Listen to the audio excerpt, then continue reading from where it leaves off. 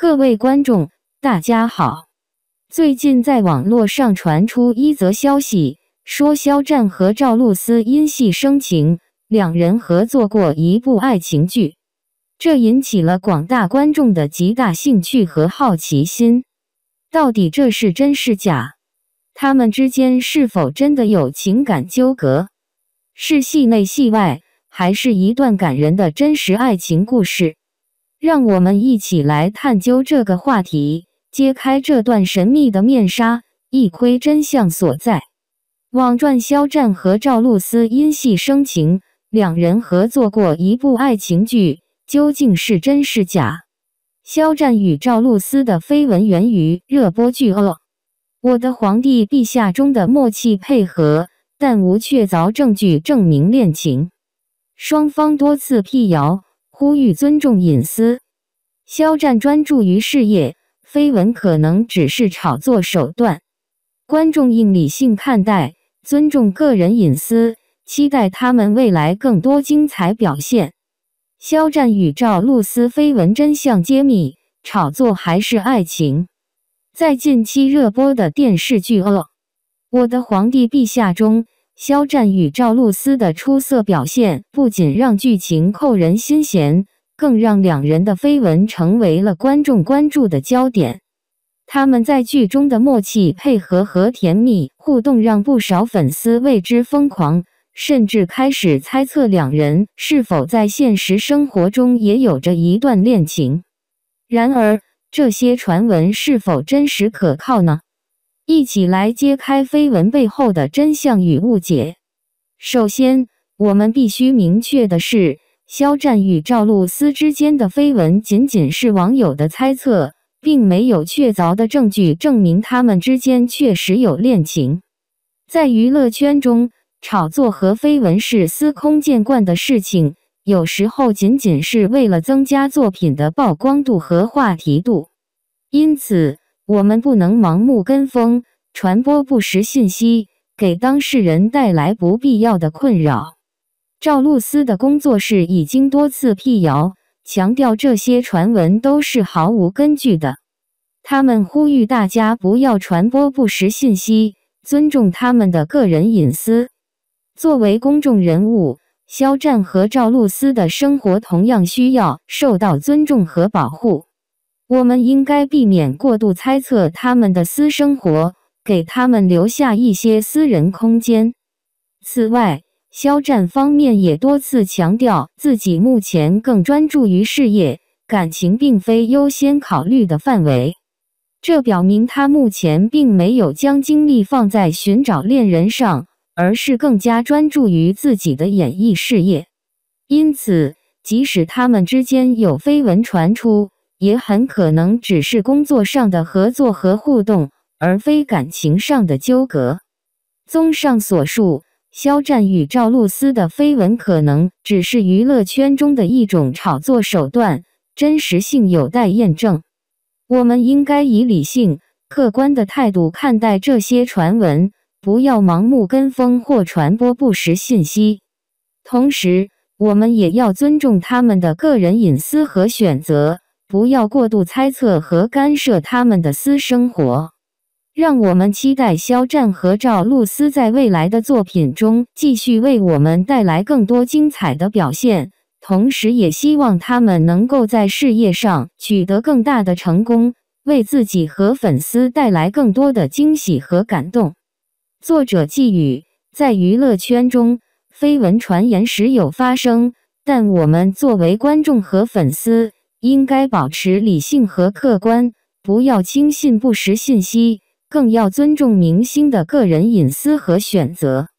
让我们一起用欣赏和支持的眼光陪伴着他们走过每一段精彩的演艺之路。杨紫要靠谱女人设爆了，杨紫的新剧《承欢记》官宣定档央视了，我是比较看好这部剧的。相信它会成为杨紫现代剧里的经典爆剧。第一，老中青三代演员都算得上有演技，但最重要的是，这部剧的原著小说是一书小说里很特别的一部。女主角麦承欢是一个非常有质感的角色。我今年大概重温了四十本一书的小说，老实讲，重复度很高。很多小说真的今天看完，明天就忘了剧情，有一种在看黄宗泽演的 TVB 剧的感觉。但《承欢记》特别在哪里呢？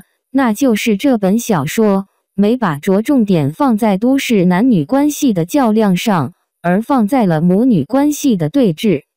我之前第一次读《承欢记》的时候，就有推荐我妹去读这本小说，因为书中麦承欢和他母亲麦太太的关系走向，很像我妹和她母亲的故事。其实或许像绝大部分东亚母女故事，麦承欢走的是一条自我觉醒之路，从对母亲绝对的依恋，到逐渐摆脱控制，取悦自己。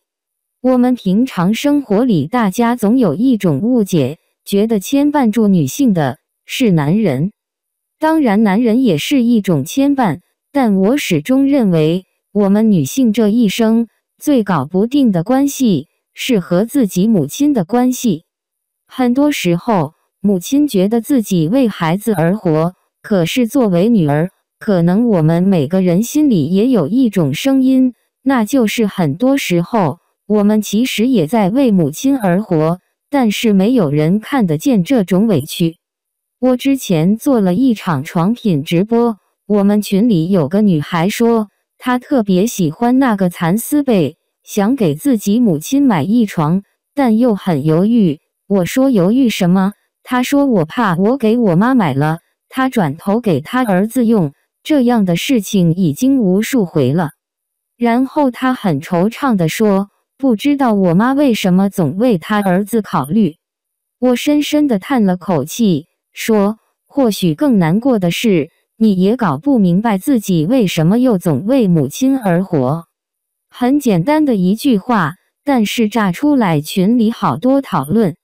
很多读者说这句话有点让人想哭，因为终于不得不承认，我们人生里的很多委屈。的确是因为想讨好母亲而产生的，不仅仅是因为重男轻女，而是因为我们的生命来自于母亲，我们对母亲有着难以准确描述的依恋，母亲对我们有着极其不易察觉的控制，非贬义。我理解这种控制是一种从小照顾的习惯，母亲也在努力的克服这种被延续下来的习惯，而被控制的人。总是会忍不住讨好控制者。麦承欢从前只觉得麦太太是全世界最好的母亲，《承欢记》很有张爱玲《金锁记》的影子，找何赛飞演母亲真的是眼光精准。他意识到母亲对他的控制是在结婚那一刻，他忽然发现母亲把他当成一种讨价还价的筹码。争自己从前没在这个世界争来的义气，所以麦承欢钻戒要选麦太太喜欢的款式，俗不俗气不要紧，最重要是足够闪，才能显得麦太太娇女有方，脸上有光。麦承欢自己想旅行结婚，也是万万不行的，必须讨好母亲，让她大摆宴席，这婚才能结。否则，麦太太可以让所有人难堪。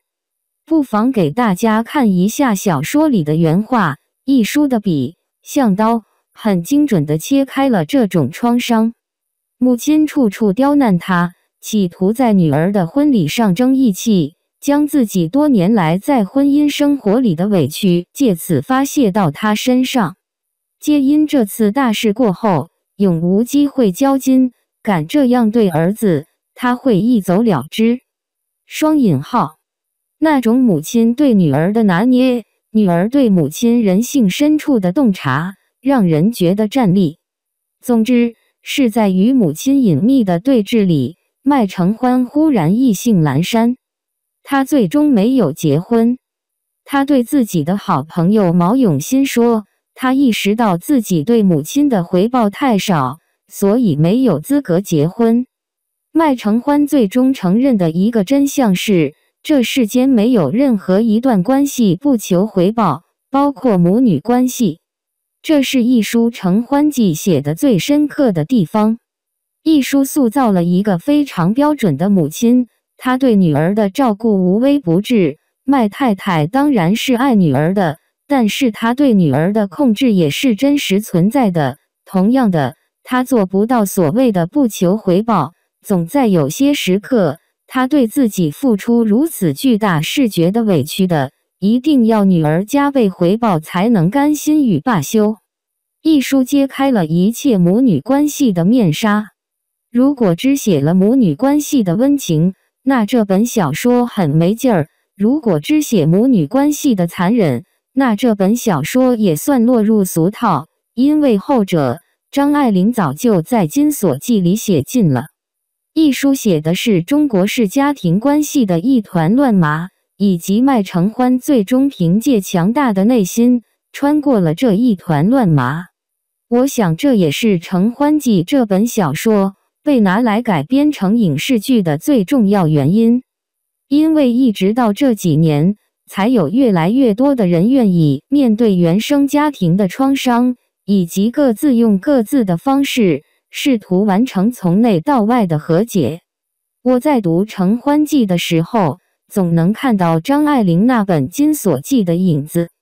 我能感觉到一书一开始是试图借鉴张爱玲小说里的这段母女关系，但因为一书自己既是母亲也是女儿，她对母亲这个角色有不同于张爱玲的理解。她真正为女儿付出过，看得到母亲的牺牲与付出，快乐与痛苦，所以她对于母亲的角度要更广阔一些。也因此，他写出了一种全新的东西。除了这种与原生家庭和解的设定足够让观众有共鸣之外，麦承欢的整个成长路径也是很有代入感的。因为他整体比较普女，家庭普通，父母普通，长相也是普通的好看，不是一书从前小说里那种绝世大美女。然后从小就是个乖乖女，努力学习，功课良好，考了不错的大学，工作又够拼，自己攒了不少钱，按部就班打算进入婚姻，却在这个过程中慢慢长出了自我。就这种框架，只要不乱往里填东西，基本就是爆剧的命。杨子要靠谱女人设爆了。这条消息引起了广泛的讨论和关注。作为一位备受瞩目的演员，杨紫一直以其出色的表演和独特的个人魅力而备受粉丝喜爱。然而，现在她似乎要借助普通女人的形象来引爆话题，这在一定程度上引发了人们的好奇心和争议。普通女人这个概念在当今社会中具有特殊的意义。它与一些明星以及娱乐圈中常见的炫富高调形成了鲜明的对比。普通女人的形象更加接地气，更加贴近普通人的生活状态，因此更容易引起观众的共鸣和情感共鸣。杨紫选择靠谱女人设爆红，可能是希望展现出自己更真实、更贴近大众的一面。从而获得更多人的认可和支持。然而，要成功的打造一个普通女人的形象并不容易，这需要演员在塑造角色的过程中有着极高的表演技巧，同时也需要与角色的生活状态和情感状态进行深度的融合。而一旦成功的打造出了一个具有感染力和共鸣力的普通女人形象，将会给演员带来更多的表演机会和粉丝的喜爱。总的来说，杨紫选择靠谱女人设爆红是一个值得期待的尝试。通过这一举动，她有可能展现出更加真实和立体的形象，也有望赢得更广泛的认可和支持。期待杨紫在这一领域取得更加出色的表现，为观众带来更多精彩的作品。